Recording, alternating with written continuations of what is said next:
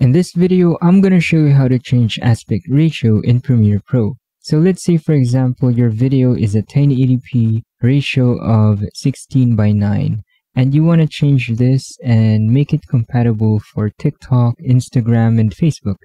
So in order to do that, you'll need to head over to the upper right corner and you'll see this icon right here and then you'll see the sequence settings click on it and now that you're here this area right here is for the aspect ratio. You can click on aspect ratio for the pixels, but what will mainly change is this frame size right here. So it's set to 16 by 9. We'll make it 9 by 16 by switching it over. 19 by 20 to 1080.